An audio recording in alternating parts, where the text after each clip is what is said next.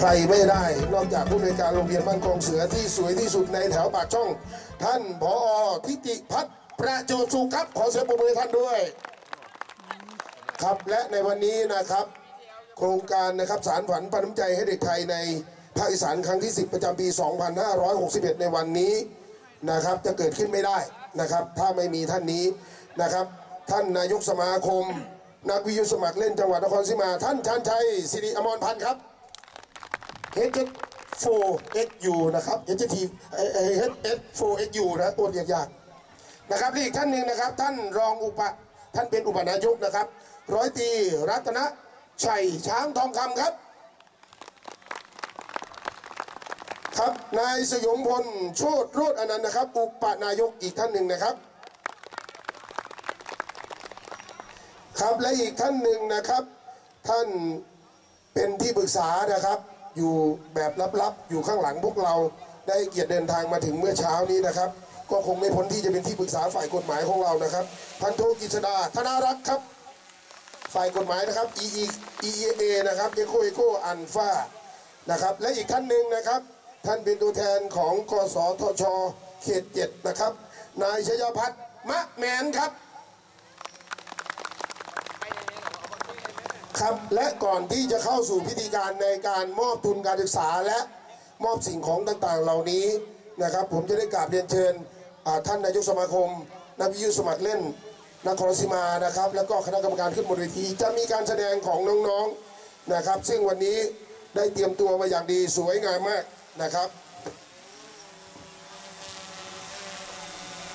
ครับเป็นการแสดงนะครับ ทิดาฟ้าหยาดนะครับ ครูผู้ฝึกซ้อมนะครับ คุณครูทิติมาบุญสูงเนินนะครับอำนวยการแสดงโดยท่านผอพิติพัฒน์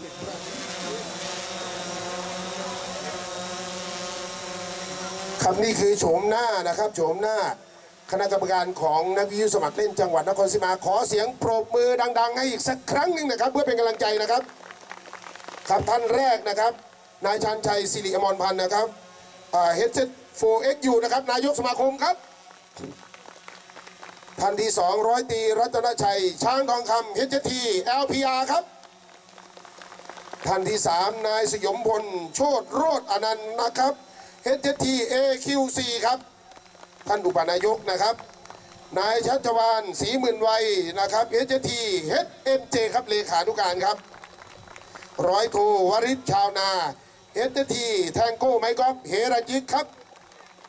นายอุทัยศรีตบุตรเฮดทีเฮดคิววนายสถานีครับจ่าสิบเอกวิเชียนสิริสถิตเฮดทีบีเอลนายทะเบียนครับสวัสดีครับ นางสาวธนสุขขันศิลา HS3USK ฝ่ายประชาสัมพันธ์ครับ นายไกรสิทธิ์ชูรัตน์ HS3INT ครับปฏิคมครับ นายสมพงษ์ไขกระโทก HS3LUS ครับ นายอนันชัยโลหะสุด HS3CDU ครับ ฝ่ายเทคนิคนะครับ นะครับ นี่คือโฉมหน้าของคณะกรรมการนะครับ ทั้งหมดนะครับ ในโอกาสนี้นะครับ จะได้เรียนเชิญท่านนายกสมาคมได้กล่าวรายงานต่อท่านประธานครับ ขออนุญาตช่วยยกโพเดียมสักนิดหนึ่งครับ คณะกรรมการครับ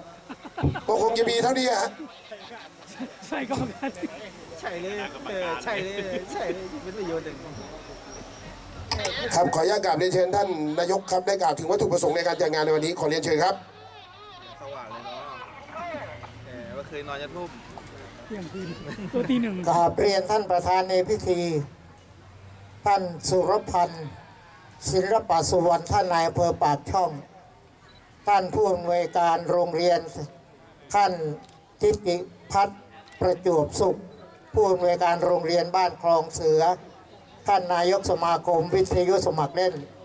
หลายจังหวัดครับนู่นเลยจะทุ่มเมื่อคืนเท่าที่จำได้ก็มีร้อยเอ็ด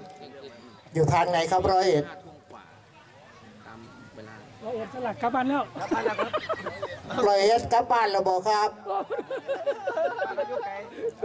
โอ้เอาขอบคุณขอบคุณข้าวเหนียวยังมาเนาะอ่า ขอนแก่นวันนี้คือขาดทุนนู่นนนเกนนู่ขอนนแก่นครับผมกกาลสินธุ์โอ้ดินดำน้ำซุมเนาะเมืองกาลสินธุ์เฮามหาสารคาม เอาขาวเหมามานำมอสกล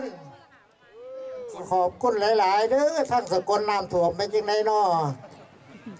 สินกาฬสินกว่าไปแล้ว ได้ข่าวว่าทางวิเชียนบุรีก็มาไม่ใช่เหรอครับ ทางไหนครับแต่เขาวว่าเอาไก่ย่างมาด้วยเนี่ยชัยภูมิอำเภอไหนครับ ครับขอบคุณครับ แล้วก็ทุกๆสมาคม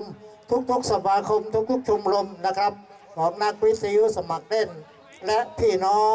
แขกท่านผู้มีเกียรติครับ โอ้ลืมโคราชเจ้าภาพลืมลืมนับตัวเอง ครับเมืองพลด้วยครับป๋าครับเมืองพลมิตรภาพครับ ไหนไหนเมืองพลขอนแก่นเอ่อนี่เต้นทั้งคืนครับเต้นทั้งคืนโอ้ขอบคุณขอบคุณพี่น้องเมืองพลครับผมขอบคุณหลาย ๆ ครับ กระผมนายชาญชัยสิริอมรพันธ์ นามเรียกขานโฮเทลสรอโฟเอ็กซเรย์ยูนิฟอร์มเขตซี่กระสิวจักแล้วนอวาเป็นเล่าคือเป็นไทย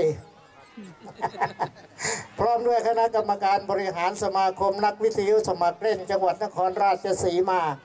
โฮเทลสราทรีอันฟาโนเวเบอร์ รู้สึกเป็นเกียรติและขอขอบพระคุณ เป็นอย่างยิ่งที่ทุกท่านให้เกียรติและกรุณาเสียสละเวลา เดินทางไกลมาร่วมงาน สารฝันปันน้ำใจ ให้เด็กไทยในภาคอีสานครั้งที่ 10 ประจำปี 2562 หน้าโรงเรียนบ้านหนองเสือ บ้านคลองเสือ ตำบลหมูสีอำเภอปากช่องจังหวัดนครราชสีมา ซึ่งมีวัตถุประสงค์ในการจัดงานในครั้งนี้ดังนี้ครับ 1. เพื่อเป็นการสร้างความสัมพันธ์อันดี ระหว่างเพื่อนนักวิทยุสมัครเล่น สมาคม ชมรมกลุ่มต่างๆ รวมถึงผู้ที่มีกิจอาสาทุกท่าน 2. เพื่อจัดหาทุนทรัพย์ในการปรับปรุงอาคารเรียน ซึ่งปรับปรุงเสร็จเรียบร้อยแล้ว และได้มอบและจะมอบทุนการศึกษา ให้กับเด็กนักเรียน 3. เพื่อให้บรรลุถึงการอุทิศตนเพื่อเป็นประโยชน์ต่อส่วนรวม ควบคู่กับการส่งเสริมคุณธรรม คนไทยไม่ทิ้งกัน เพื่อช่วยปลูกฝังจิตสำนึกในการให้เพื่อประโยชน์ของส่วนรวม โดยไม่หวังสิ่งตอบแทนนำมาซึ่งความภาคภูมิใจ ในความเป็นนักวิทยุสมัครเล่นจิตอาสา ในกิจกรรมครั้งนี้ ครั้งที่10สารฝันปันน้ำใจให้เด็กไทย ประจำปี 2561 ได้จะมอบทุนการศึกษาให้กับเด็กนักเรียนทั้งหมด 97 ทุน ทุนละ 500 บาท และเงินช่วยเหลือกิจกรรมของโรงเรียนจำนวน 10,000 บาท จัดซื้อ และทาสีอาคารเรียน ทั้งหมดเป็นเงิน 45,000 บาท โดยไม่มีค่าแรง และไม่ได้เสียงบประมาณของทางราชการแต่อย่างใด ในโอกาสนี้กระผมขอเรียนเชิญท่านนายอำเภอ ท่านสุรพันธ์ศิลปาสุวรรณ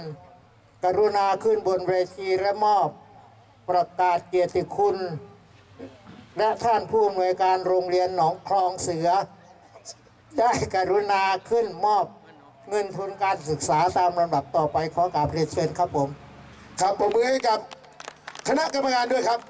ครับในลำดับนี้ขอเชิญคณะกรรมการลงลงด้านล่างได้เลยครับ ยกเว้นท่านนายกครับ ครับก็ขอเรียนเชิญท่านผู้ในวยการด้วยนะครับขอเชิญผู้ที่อยู่ช่วยเหลือในการยก